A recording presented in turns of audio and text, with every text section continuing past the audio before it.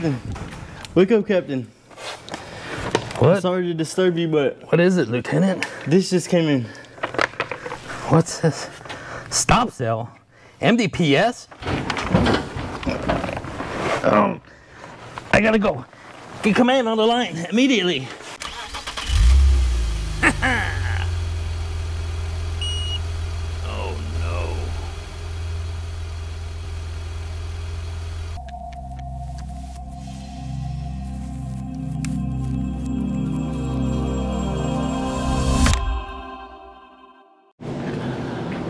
Welcome back to Shop Foreman Garage. Working today with World Car Auto Group and we are working on this 2024 Kia Sportage. 2024? Yeah, it's got eight miles on it. So why, why we have to work on a 2024? It's broken already? Well, it had a stop sale. We got a stop sale. We got a stop sale. It's a stop sale. What's a stop sale? A stop sale is when there's an issue with a vehicle that could be considered dangerous, dangerous enough that um, it needs to be repaired before it can be sold. So it's a stop sale, no selling this vehicle until it is actually repaired. And today we are uh, going to replace the MDPS. What's an MDPS? That stands for motor driven power steering and it has a motor that drives your power steering and in this case the supplier when building this motor assembly used uh, contaminated flux which could cause a short in the printed circuit and that short could cause this motor to stop turning and you could lose power steering. Uh, your steering is still going to work but it's not going to have any power and because of that it could result in a crash. So we are going to drop the steering column in this 2024 Kia Sportage with eight miles on it and we're going to be replacing this and it's not that bad of a job and let's get right into it. All right, let's look and see what we're dealing with here. Let's move the seat back.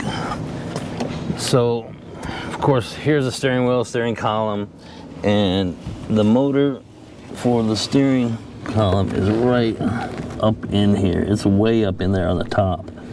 So we got to get all this stuff out of the way and um, let's just uh, start tearing into it right now. All right, the first thing I need to do is pull the seaming welt out or at least just pull it back and this threshold plate pull that out. These, uh, this um, hood switch, these don't have uh, bolts in them. So you just kind of slowly kind of pull them out like that and then they just pop out just like that. And of course this thing has some clips. So I'm gonna have to pull the clips on this. But uh, first I need to make sure that I disconnect the battery. Okay, I disconnected the battery. Um, it is a good idea to disconnect the battery, you know, with most uh, repairs. But in this case, uh, we're dealing with uh, airbag harnesses and stuff like that. So we definitely want to disconnect the battery and let it sit a while before we start disconnecting airbag connectors. Uh, so uh, I need to pull this off and I'm just going to use this clip tool to kind of pop it out just like that. Because we got to pull this panel off. So I need to take this right here. And of course you know it's a brand new vehicle. We want to definitely you know we'll always be careful not to mar up the plastic you know. Sometimes it can't be helped but you know this vehicle does not even belong to anybody yet. Somebody's gonna buy it one day. So we want to make sure that when they first look at it it's not to have you know marks and stuff on it. You got a screw right there. And we got one right there.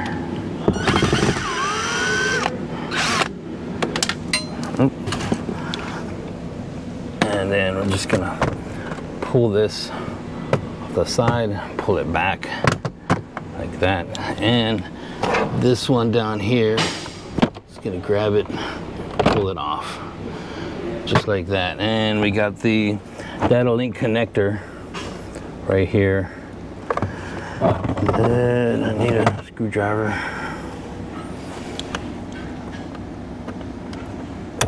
Take this off. Come on, can I get it with one hand?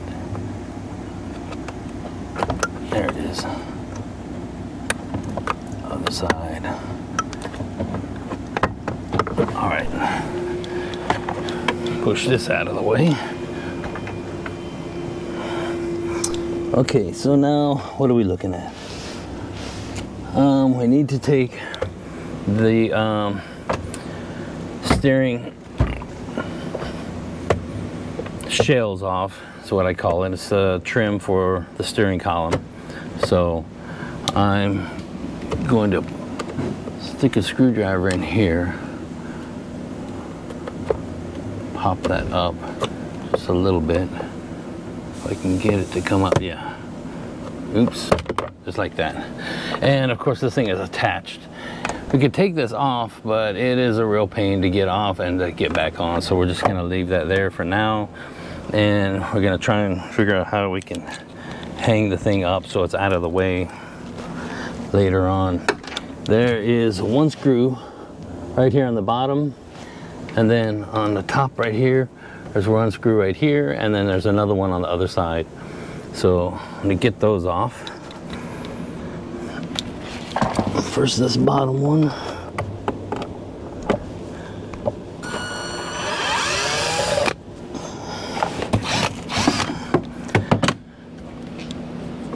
And the one on the side right here.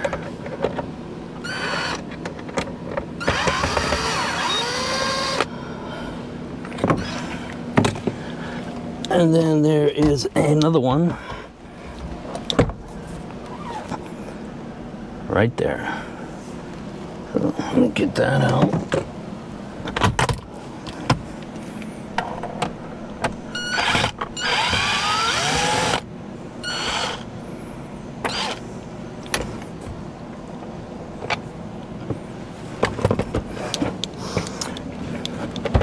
All right, and then this thing, just kind of grab it and pull it down.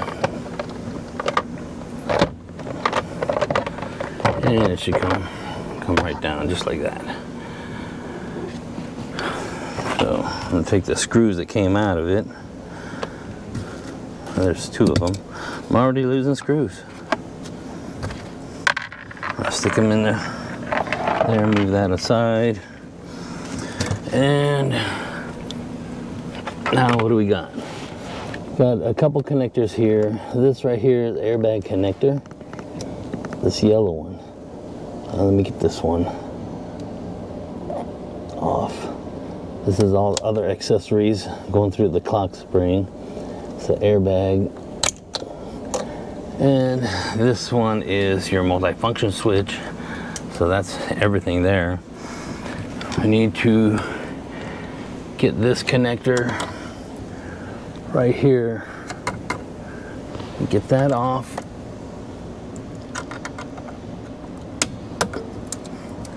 Let that hang down.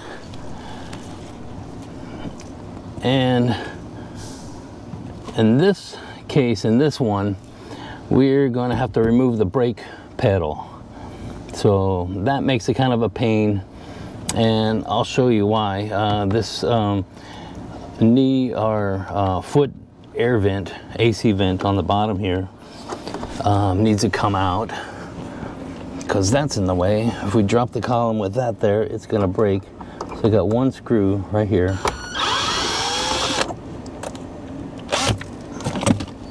And the thing should just pull out like that. And let me see. Let me put this aside.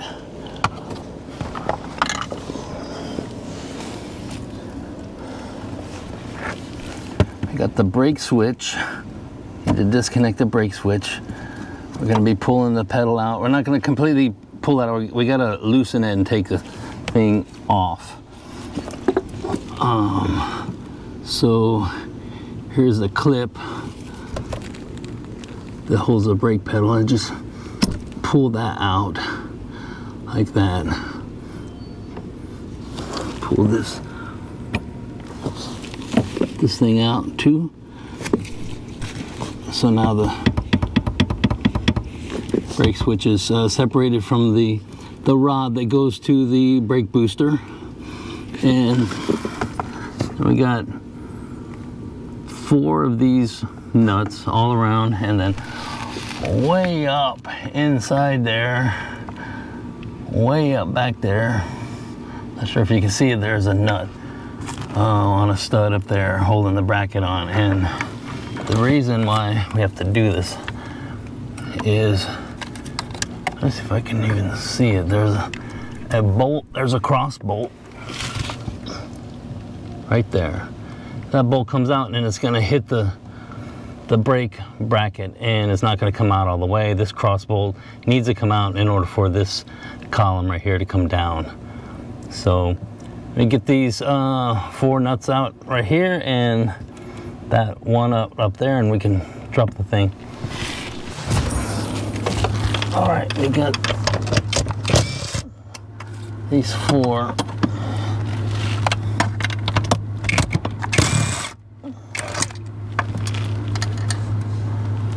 Don't want to loosen. And I'm gonna get this one up on top here first.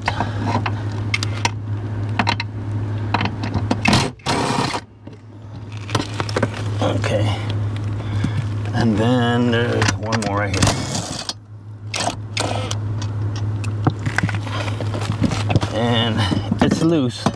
Not taking it completely out. It's actually being held by the wiring harness up here. But I just needed to come loose because I need to get that uh, that cross bolt out. Well, actually, it'd probably be easier, but just take this out. So let's just do that. There is a wiring harness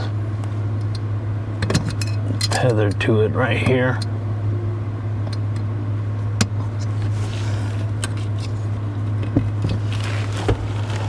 Okay.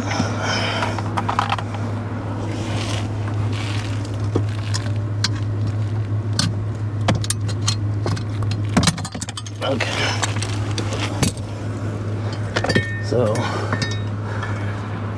completely out. And where is it? Right here is that nut. So, I'm gonna take that out.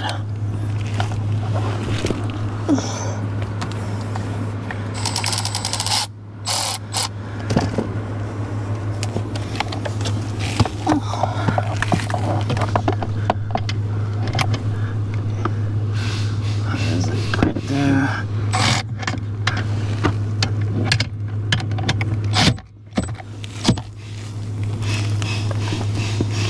Oh, it is tight.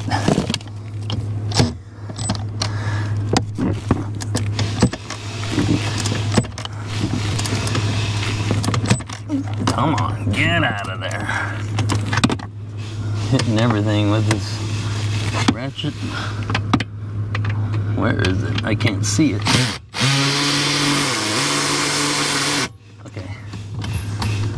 That's it. So, that's coming out. There it is. And see, it's too long. It would definitely hit the the brake pedal bracket or whatever. So, I got that out. Now, got this nut right up in here and then one over here. Let's put the steering column back. And then let's get these two out.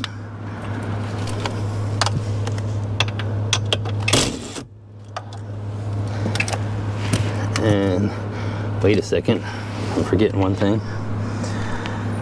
So first, we need to get the um, wiring harness off of the uh, MDPS first, and that's way underneath there. So we need to um, need to lie down on the floor and uh, look way up in there and there's uh, like three connectors we need to take off so we need to make sure that we take those off first because otherwise we'll be pulling uh, connectors out uh, whenever we drop the column and that would not be good. So uh, let me get this out of the way and let's see if we can get our heads up in there and look at those connectors.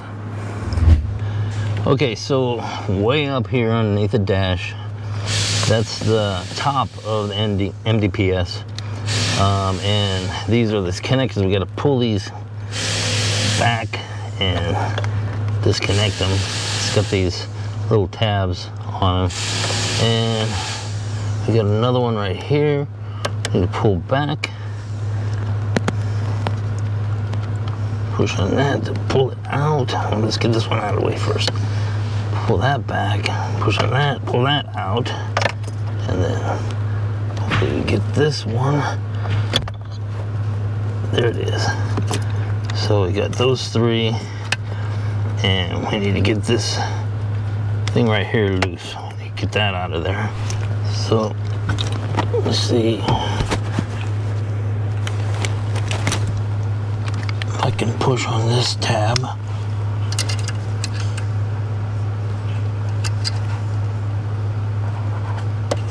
Come on.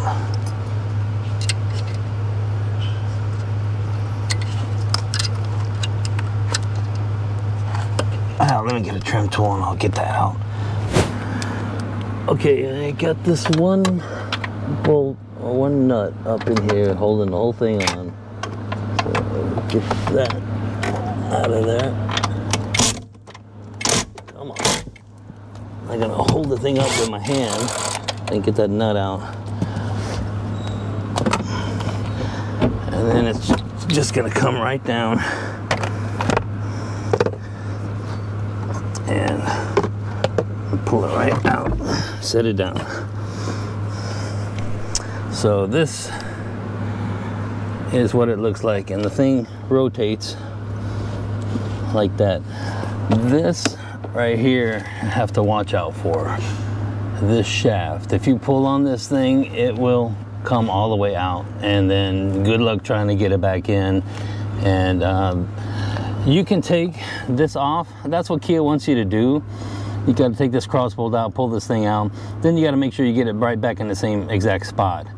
Um, and one thing that can happen whenever you do that, if the steering wheel just starts spinning on here, it'll break, break the clock spring in there and then you got to replace the clock spring. So you got to be really careful. If you leave it on here like this, you don't have to worry about replacing the clock spring. You don't have to worry about getting that right back in the same spot. Just make sure that this doesn't come loose. And this is what we're after. And we can turn the thing like this and see how the column turns, but the steering wheel's not turning. So it's got these two bolts right here and it's got one back there that we need to take off and then that's the motor out and then we just put the new motor in and put everything back together so let's get this motor out of here. Okay we got one bolt, bolt back here. Pull that one out first and then these two.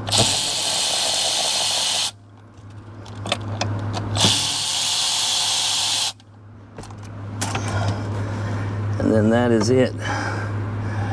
And there's your MDPS motor driven power steering motor assembly. And uh, this thing turns and turns the the shaft inside there. And uh, if you, you, can see this whenever this thing turns you can see that that wheel in there turning. So me turning this thing it's turning that wheel. This motor turns that wheel which turns the, the steering shaft. So let's get the new motor.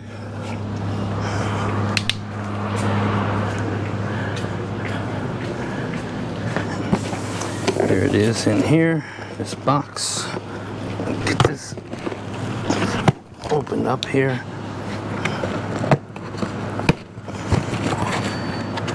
And there's a brand new one. Now, this, uh, there is a little O-ring or spacer, I don't know what it is. Gotta make sure that is put in there. So, let's get this one in.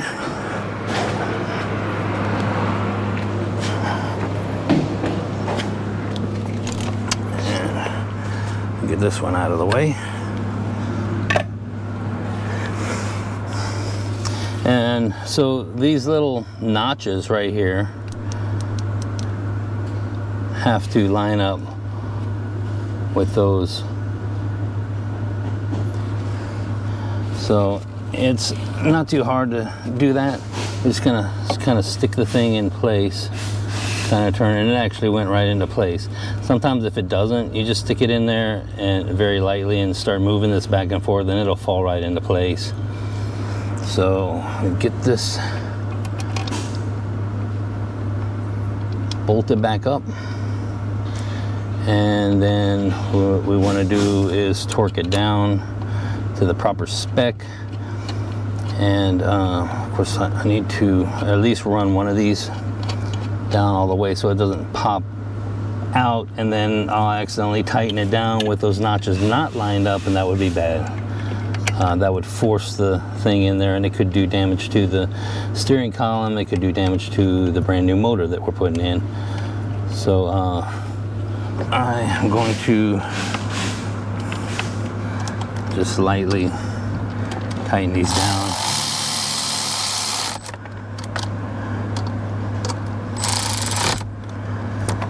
And then I'll do the other one on the other side. And I'll grab a torque wrench. Now this is my inch pound torque wrench. It's pretty old, I've had it for a while. But I know that it's in good calibration.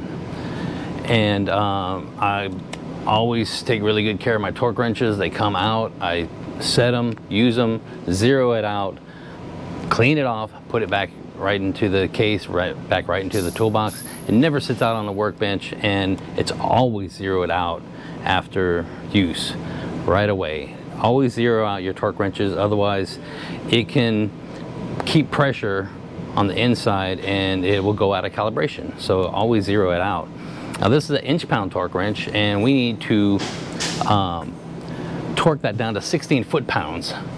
All right, so I have an inch pound uh, scale right here. So how am I going to put 16 foot pounds? Well, it's also 22 newton meters, and this has a newton meter scale right here. So I'm going to set this to 22 newton meters, and we will torque it down like that. So a lot of people think, well, I guess they think that you torque uh, a um, something down to spec so that it's tight enough.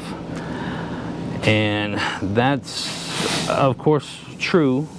You know, you want it to be tight enough, but too tight can also be bad. And this is uh, definitely one of those situations that uh, you want it to not be too tight because tightening that thing down too tight, it's not going to be able to turn properly and you could have issues. And it's the same way with uh, torquing down uh, an axle nut at the end of the axle. You know, some people are like, well, I can tighten this thing down tight and I'll just hit my, you know, impact wrench on it. Well, it's not that just that it's tight enough, but it could be too tight. And if you put it too tight, then the preload on the bearing on the inside is too tight and the bearing will actually wear out. So um, just because you uh, tighten it down uh, with a torque wrench does not mean that uh, you're doing it uh, just to get it tight enough. It's also so that it's not too tight. So we want 22 newton meters. So that's 22.25. Got to bring it down. 22 right there. 22 newton meters. So let's get this torqued. Uh, there's another thing I want to mention about torquing um, nuts and bolts and stuff down. If you use a torque wrench with a extension and a, in this case, a wobble socket. Um, each thing added onto it can change the torque that's used to torque this thing down, especially if you're going at an angle with this thing right here. So in, in this case, I mean, we really can't get the thing in there unless we use something like this. So we just do the best we can. And um, it's, it's better than just, you know, tightening the thing down and, and being done with it. So let's torque this thing down. Okay, I'm gonna get this in here.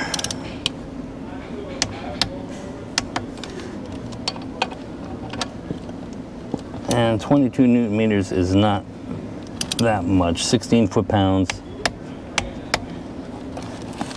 And there, it moved a little bit. And I just try and keep the thing as straight as possible. Okay, that's good. Okay, I, I taped this piece up here with a piece of masking tape, just try and keep it out of the way because it really does get in the way whenever I'm trying to put this thing back in. What I need to do is get this piece right here up into that hole and that'll help hold it in so I can shove the thing up in up where it belongs and uh, get the um, the nuts put on to hold it in then get the cross bolt in and then uh, we can put the brake pedal in uh, make sure we hook up our uh, connectors to this thing right here and uh, just start putting everything back together. So I'm just gonna start putting the thing together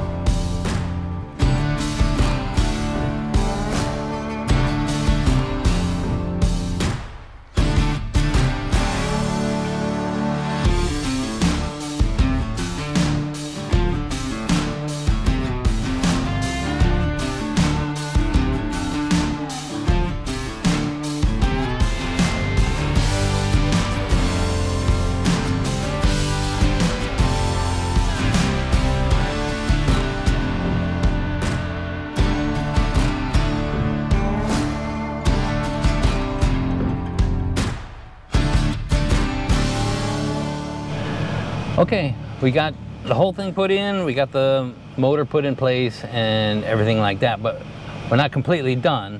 I have the vehicle running and uh, if you can see, there's a bunch of lights on on the dashboard. You got a bunch of uh, uh, different uh, messages popping up for uh, traction control and blind spot detection and and there's just a bunch of stuff including the steering and uh, that is because it has not been calibrated and we also disconnected a bunch of stuff disconnected the the um, brake switch. Um, and uh, so I'm gonna go ahead I'm gonna turn the vehicle off and I'll just turn the key on. And we're gonna go into this motor driven power steering system right here. And we got to set the regional settings the uh, EPS type recognition and uh, because uh, settings for steering are believe it or not different depending on the regions that you live. Um, don't ask me how. I have no idea how that makes any difference. You know turning a wheel should turn a certain way you know whether I don't know whether you're in um, you know Canada or Africa. You know I mean I, I have no idea. Uh, but uh, it's something that we need to do. So uh, load the accurate settings hit OK um, and that is the accurate setting right there. So hit OK and turn the ignition off for 20 seconds. And um, this uh, letting the thing sit for 20 seconds and then uh, um, turning the key back on that sets the uh, whatever spec that you put into it that lets it finally set in. So we're gonna do that. And then we also have to uh, calibrate the uh, steering uh, angle sensor, steering angle torque sensor. So I'm gonna hit the key back on. I will hit okay right here.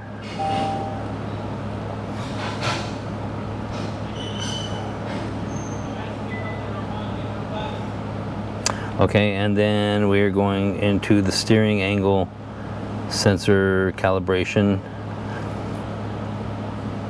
And it's just uh, basically uh, set, setting the steering angle sensor to zero uh, so that it knows. So it, it, knows what you know where the steering wheel is at. And that's better for uh, traction control and stuff. You know if you're uh, driving down the highway straight and it thinks that your steering wheel is turned to the left because it's not calibrated properly um, then it would be thinking you're going way too fast to be making a left-hand turn so it starts engaging the traction control and stuff like that because it thinks you're out of control. So that's why I want to uh, get the calibration set on the steering angle sensor. So I got the ignition on engine stopped uh, press OK to perform calibration. Are you sure? Yes. Ignition on engine stopped now initializing.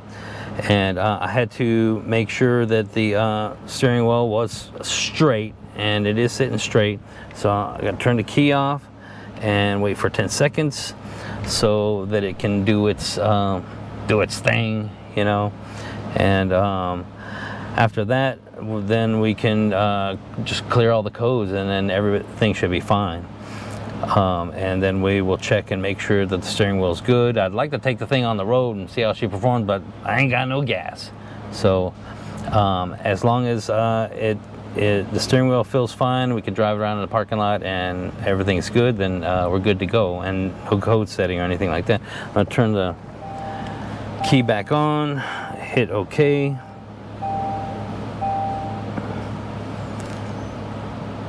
And uh, right now you can see, well, now that the thing is still blinking, right, the steering. So we need to clear all the codes that got set in there. And what I'm going to do is I'm going to do an all all systems code check. I'll check all the codes. This is going to take a little while. So hit OK Okay,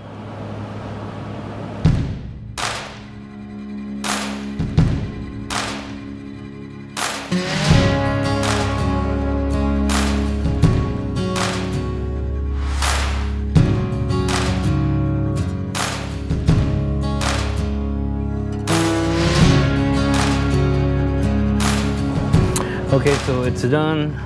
go in, there are no current codes. I can look at history codes and there's a bunch of um, error codes and stuff like that that were set uh, during the calibration. So I'm gonna erase all codes.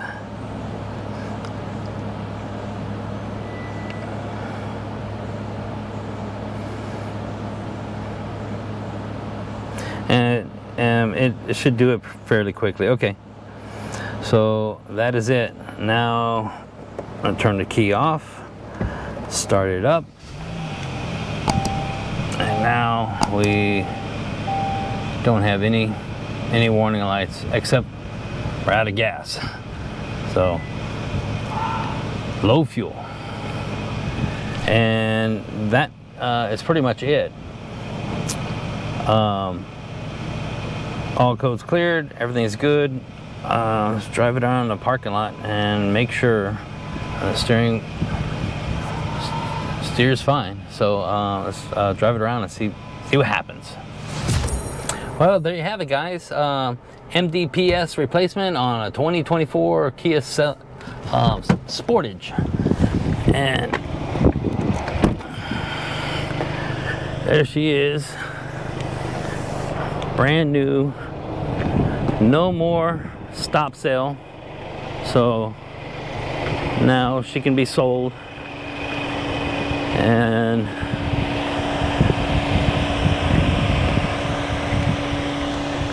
it really is a nice little SUV um, crossover whatever you want to call it. I don't know. Um, it's not a car. It ain't a truck. Um, I guess it's an SUV um, anyway as always uh, thanks for watching. Uh, don't forget to like and subscribe. Comment down below. Say something. Say hey hi uh, how's it going uh, how you doing um, don't forget to check out uh, Shop Foreman Garage on Facebook.